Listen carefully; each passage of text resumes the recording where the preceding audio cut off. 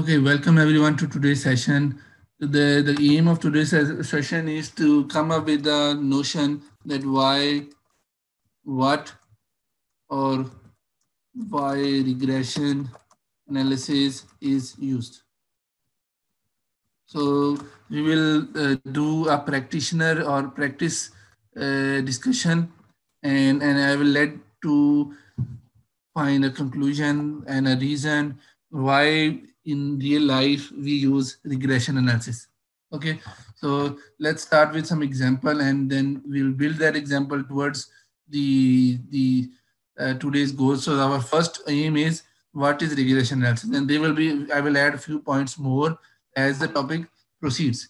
So the let's start with the suppose you are going to the market and you need to buy a second hand car let me clear it. So second hand car. And you need to know what should be the uh, price for that car, what how much you should pay. So uh, you are going to a market and you are looking for uh, the cars. So what data you are observing? You are observing the the the age of a car in terms of how many miles it has uh, covered. So in terms of miles covered, how, old it, it is, how, how many miles it has been used for. And second data you are getting is the, the, the price that the seller is asking, uh, the price uh, of a car. So you notice that when you are observing many cars, so, so the data you have is here you will uh, add value of miles and here you're writing price. You note that the, the, the, the tendency that you notice is that for the data is like this.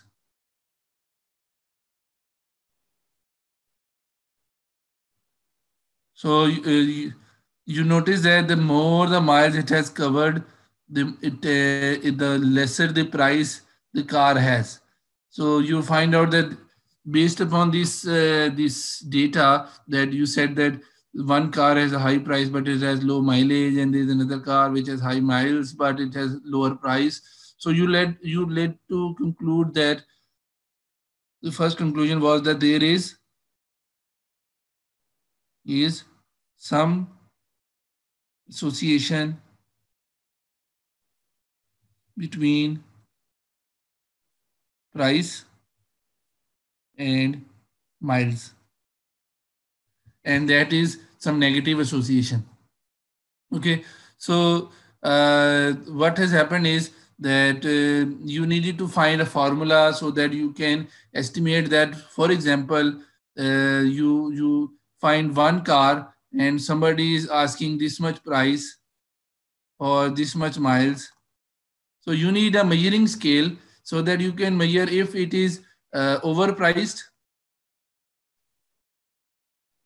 or underpriced.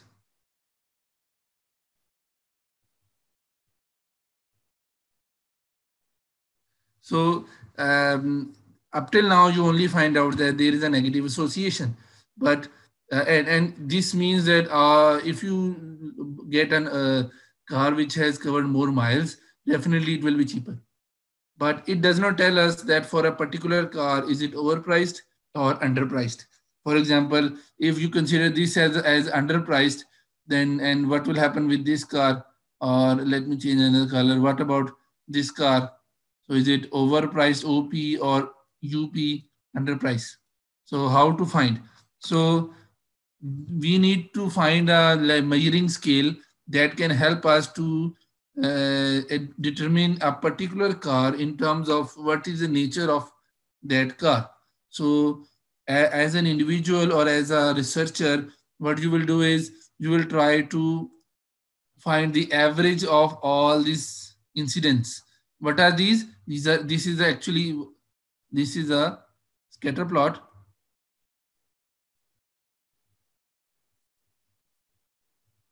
of joint incidence of any event. So the event is that you are looking for a second-hand car, and and for that event you are you are observing two types of observations. One is price, and other is miles. So you end up getting a conclusion that there is some association between price and miles, and that is negative association. So that led us to a knowledge that, that led us to new information that the car which has covered more distance is cheaper. So, but it does not tell us that for a particular car, is it overpriced or underpriced? So why he need to do is because if he does not know that if it is over or under, he will never know if it is a bargain or he has faced a loss. For that, the the the logical way is what he will do is he will try to find the center of this association. So he will try to find a line that crosses from the center of the dots. Okay, so logically he will that line will be a uh, average incidence of these two events, uh, average incidence of these two data sets. So just like we measure uh, we measure KIBOR in finance, how we measure it? We measure the average lending and borrowing rate of big banks. So the data is there they just take an average. So here what is we are doing is as an individual, he has observed the 20, 30 cars in terms of price and miles. He plotted them on a scatter plot and mathematically or logically or guessed uh, um, a line. This is a measuring scale. What, what does it do? For example, uh, for example, he uh, he wants to judge if uh, let's go one step back and then come to, to, this point. Suppose he does not know that miles define miles is the variable that defines the price. And he goes to a market and he only looks at the price.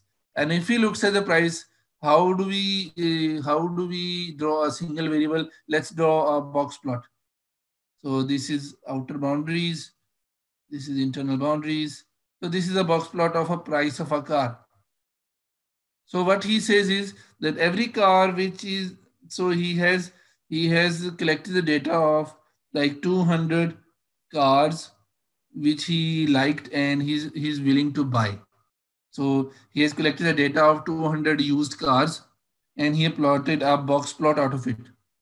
So since according to him up till now, price is not eh, dependent on any other variable. So it's a it's a single data. So what he will do is he will take mean, which will be in the center, and any price which is above is overpriced. It's too expensive. Any price which is below is underpriced. So this way he will distinguish between a cheap car or an expensive car. But with experience, he found out that it, it it's not that simple. It's not that simple. It is it is defined by how much miles it have worked or it has used. So the older the car, the more parts are depreciated. So the lesser the price or the more the lower the expected life, so the lesser the price. So he found out that rather than uh, measuring using a straight line, left or right or horizontal line up and down, he has found out that if I draw a line with miles, it's a good measuring scale. So I have found uh, as an individual who is looking to buy a car, I have found a one, one criteria that can help me decide if the car is overpriced or underpriced. So it means he has now got this measuring scale. So let's go to a new slide and let's draw this case again. And so that I can clarify these points. So we have x-axis and y-axis and we have already concluded that there is a negative association between what we take, we take miles and price. So now he has as a buyer a measuring criteria. measuring criteria is that he says that if the price of a car is this much, he should only pay this. Or if the price, uh, if the miles covered by the car is this much, he should only pay this much. So this calculation criteria is based upon what? First, it is based upon the market information.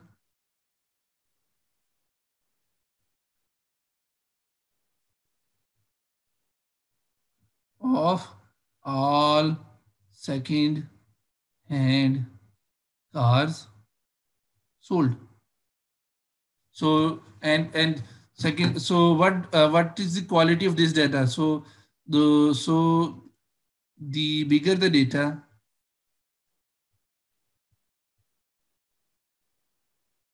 more reliable the scale will be or more accurate it will give us a guess. So what should be the price? So it means suppose as an individual i have got the measuring scale. So what i will do is uh, i will write it in, in mathematical equation too so price is equal to alpha plus beta miles so this is my measuring equation so my alpha is what what is the starting point of this line where it is touching the y-axis and B is the angle of this line. So B tells us how much price will change if miles is increased. So if beta, so definitely it is negatively sloped. So it means my actual is something like 1 minus beta m. So it is giving us that when m increases, so price decrease by beta. So for every one increase, one unit increase in mile, the price of a car decrease by beta units. It can be any number, but since the distance is measured in miles, it will be somewhere in, uh, in dollars. Okay. So this is my uh, measuring scale as a buyer. So when we call it uh, uh as a buyer, so what will happen when he uh, go to a market? He will ask the the price of a car. So first of all, he go to a sh showroom and he ask the seller they tell me what is the price of a car. So seller tells the seller tells us that tells him that this is the price. Okay, so this particular value, this is the sale price. So the, the buyer will go look at the meter and he found out that the the miles that is covered by the car is somewhere here. So let me mark it somewhere. So let me join it. So it is somewhere here. So what will happen when he joins it? He found that, that, that the crossing point is somewhere here. Okay, and and I, he goes to another shop and he asks the sale price. Then he tells the sale price this much, the blue one. Okay, and when he looks at the the mileage, what happens? That he told him that this is this much. So it crosses somewhere here. So uh, we already have two red dots. So let me write it cleanly here. So what are the, the red dots? They are actually standing on the line, which means either they are used to calculate the line or they are actually optimally priced. Optimally priced means that the model is predicting that if the miles are this much, the price should be this much. So the red dots are actually correctly predicted by the model. So they are actually uh, equal to what the model is giving us a value. So now we have two dots. There is one green dot, green dot and a blue dot. So what is the difference between them? So here we can see that that the blue dot is out above the line. So what does it mean? That if I uh, if if I fill give this uh, value, if I give this value uh, in the model, let me take a blue color again. So give this value in the model in this M, the price that the model is giving us should be this much. But the, the, uh, the, the price that is asked by the seller is this much. So this is the predicted value and this is the actual value. So if the model is correct means it took too many cars to calculate this line. So it means this much portion is, go back to the table, this much portion is, so the, the line above the line, it means that the particular car, car is overpriced. And since the line has used many used the data of many similar cars which were sold earlier. So this means that it is prompting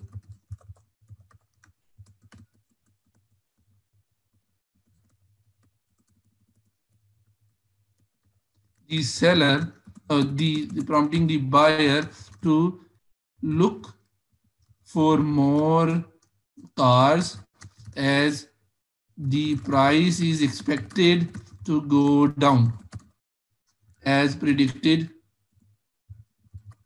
by the model. So model is telling us that it is overpriced.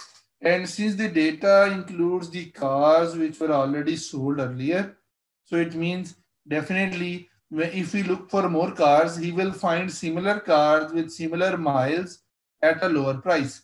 So he should not buy this car. So this, uh, since the dot is above, so the property of this dot is that it is overpriced or like in finance, we say overvalued. So it, it, it will go down because it is overvalued. Uh, the markets are not uh, telling us its logic. So same ways where we do it, just like nowadays we are saying that his assets are above his income. So he there must he must have done some corruption. So here the thing is the same. The model is telling us that for a particular M, there is a particular price.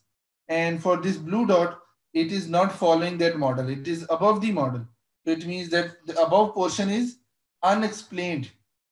And since it is unexplained, and so it means it it may come down if we look for the reasons for it to be higher. So this shows us that as a buyer, the car is expensive as compared to my measuring scale.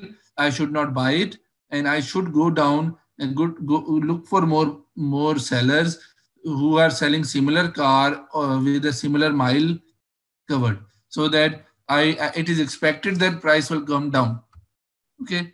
So now we are talking about the green dot. So the green dot is below the line. Okay, so the green dot is below the line. So what does it mean?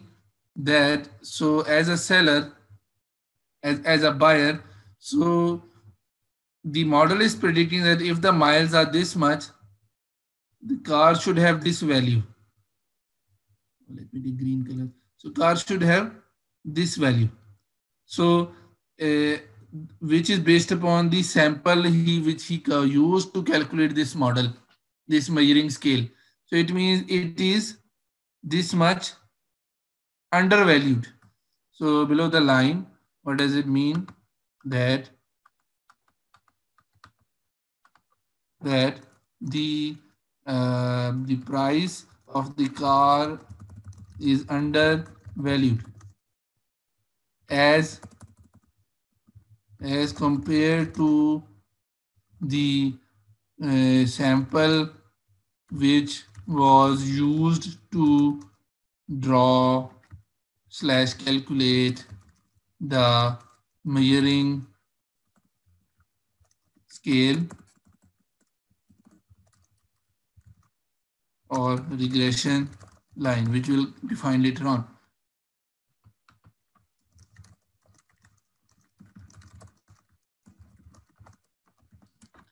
Okay, so this is the point. So what we learn, uh, what we learn here is that uh, we are able to draw a line and that line is made from the, the, the scatter plot and the line is actually our measuring scale.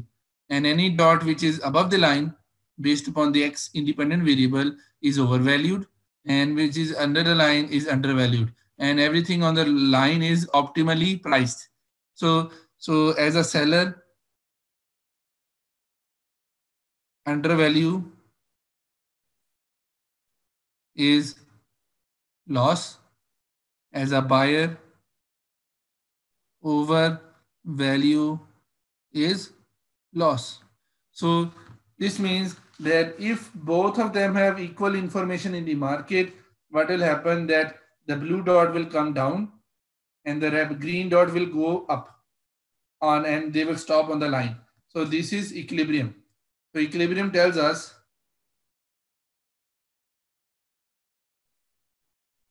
that prices, equilibrium is that prices will adjust to a stable point. So what should be a stable point? Stable point is the average of all sale prices that were successfully completed. Means all the cars which were successfully sold had the stable prices. So if we use them as a benchmark and compare the present model, if the present prices are not uh, on the average prices, it means they tend to move. So so what does this line give us uh, new? Uh, it is giving us an idea that when you are talking about some relationship, you can have a, a measuring criteria for the relationship. Just like for a single variable, we have a measuring criteria that was mu as a mean, sigma as a standard deviation, and S as a skewness, K as kurtosis. So we have uh, several measuring criteria. But for a relationship, uh, we we are now proposing uh, this line as a measuring criteria. So how this does this line is made? Is this line is made in? Uh, let me go back to previous slide. This line is made as an as an average observation for all the observations that we collected. So theoretically, this line is actually the average of all the dots that were seen. And what are these dots? The, the price of sold cars. So all the cars which were sold earlier, this is its price. Clear? So this means that we have now learned that there is a there is a measurement method for a relationship. So let's go forward. So now let me simplify it again. So we have this y-axis and this x-axis and we have this line where we have let's mark it out so this is miles and this is price so we have a particular relationship. So this this works as a measuring scale. So the, and and what does regression do? So so regression analysis is a method to optimally, to, to accurately and quickly calculate that that line which we are previously discussing as a measuring criteria for a relationship. So in real life data is too big as an individual, we cannot measure that line. So regression analysis is a method to calculate this line. And this line is what? So this line is the average co-occurrence of two events in the history. So we can say that this is the uh, so it gives us the, the average response in terms of sale price for each particular value of miles covered by the car. So for each type of a car, we have an average response. So suppose uh, in real life, we do not have a particular type of a car. So let me take, so in real life, what will happen is, suppose we found this type of car that it has low, low miles covered and high price. We have this type of a car, we have this type of a car, this type of car. So, so in the sample, we have some types, but uh, we don't have this type of car available. So there is no such example available in the market. So what is an advantage of regression analysis is that is that so the advantage of regression analysis is that is that if we cover the whole distribution of independent variable which is miles for our case and in the sample then we can predict the price for the car for a particular case case for which we do we do not have any example available when we we were collecting the data. So it means that so suppose we you covered all the distribution. So this is the cheapest, uh, uh, the youngest car, and this is the oldest car. So this is the distribution. So we draw a box plot here. Okay, so we say that this is the box plot and this is the center and median. So this is a box plot. And similarly, this is the box plot for the prices. The straight line and we have a median. So we have a distribution, but when the data was collected, suppose it is 500 cars and we didn't find any example for this range for a type that in, which is in the middle.